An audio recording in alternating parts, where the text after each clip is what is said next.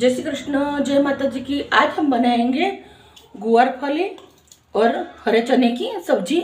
ये सब्ज़ी एकदम सिंपल है टेस्टी और खाने में बहुत मज़ा आती है। तुम दो रोटी खाते हो तो चार रोटी खा दो इतना बढ़िया बनेगा। तो बनाने का तरीका शुरू करते आगे जो भी मसाला करेंगे, वो आपको दिखाएँगे। कढ़ाई रखा है। सरसों का तेल डालेंगे। तीन चम्मच इतना हमें तेल डालना है। तेल हमारा गरम अच्छे से हो रहा है। तेल गरम हो चुका है। थोड़ा सा जीरा, थोड़ा सी राई, थोड़ा सी अजवाई थोड़ा सी सब सब मिला के हमने आधी चम्मच डाला है। ज़्यादा नहीं डालना है हमें। साथ में हम डाल देंगे। ये थोड़ा फूटे इसलिए के बाद डालेंगे गुआर। गुआर हमें तेल के अंदर ही पकाना है। मित्रों, आज की वीडियो आपको जरा से भी अच्छी लगे तो प्लीज़ एक लाइक कर देना।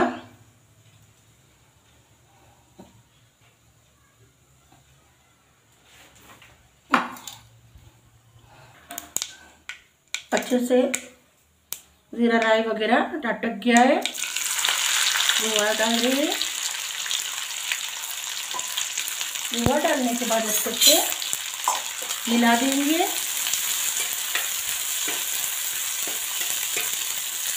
इसके बाद डालेंगे हरे चने।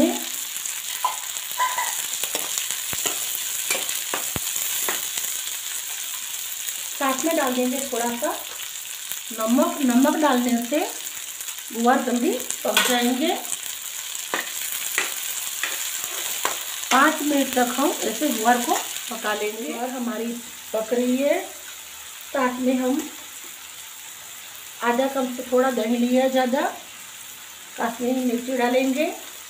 आधी चम्मच आधी चम्मच तिक्की वाली डालेंगे। थोड़ा सा नमक डालेंगे। नमक पहले हमने डाला, इसलिए एक चम्मच भर के धनिया जीरा डालेंगे। थोड़ी सी डालेंगे हल्दी। कांटे वाली चम्मच से अच्छे से मिला देंगे। अपने कुआर वाली सब्ज़ी बहुत खाई होगी, लेकिन हमारे तरीके से एक बार बना के खाना। मैंने पहले भी बताया था, दो रोटी की जगह चार रोटी खा जाओगे।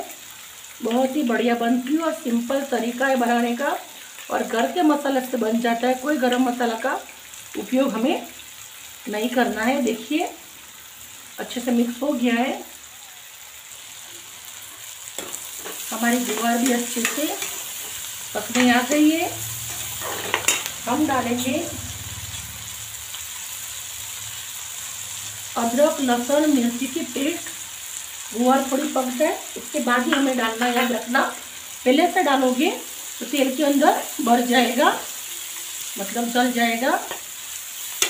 अच्छे से मिला देंगे। मिलाने के बाद दो मिनट और पका लेंगे।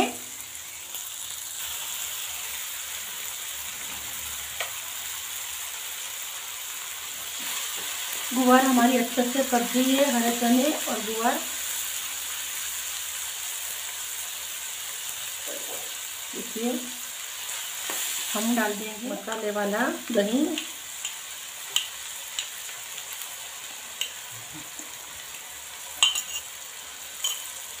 एक चम्मच इतना। तो अपने मिला के पानी डाल देंगे।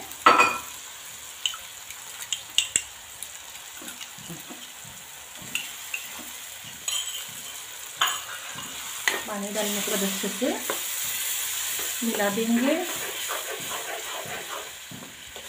मित्रों, हमारी सब्ज़ी तो एकदम आसानी से हरे, चने और गुआर की तो रेडी हो चुकी है। दस मिनट तक हम कम आँच पे पका लेंगे। आप थोड़ा कम पकाना चाहो तो कम भी पका सकते हो। कम पकाओगे कि ग्रेवी के साथ अच्छी लगी लेकिन ये थोड़ा ज़्यादा पकाएँगे, ग्रेवी एकदम दही वाली गट हो जाएगी। तो रोटियों के साथ बहुत ही बढ़िया लगती है। अब कम पकाना चाहो तो भी कम पका सकते हो इससे भी बहुत बढ़िया लगेगी। मित्रों, देखिए, हमारी सब्ज़ी बहुत ही बढ़िया बन के रेडी हो चुकी है। ग्रेवी भी एकदम गट हो चुकी है। तो कुछ डालना बाकी है। क्या डालेंगे, वो आपको दिखाएँगे। देखो, हरा धनिया डाल देंगे। ठंडी की मौसम में बहुत बढ़िया अच्छा अच्छा धनिया आ रहा है तो उसको करना चाहिए। देखिए, हमारी सब्ज़ी रेडी हो चुकी है। सर्व करेंगे सब्ज़ी को। प्लेट के अंदर सर्व कर रहे हैं सब्ज़ी। गुजराती हो तो बाजरे के रोटले के साथ ट्राई करना बहुत ही बढ़िया जाएगा। ये सब्ज़ी बाजरे के रोटले के साथ बहुत बढ़िया लगती है। देखिए, एकदम प्यारी प्यारी बहुत ही बढ़िया। सब्ज़ी बनके रेडी हो चुकी है। थोड़ा सा हरा धनिया से हम सजा देंगे।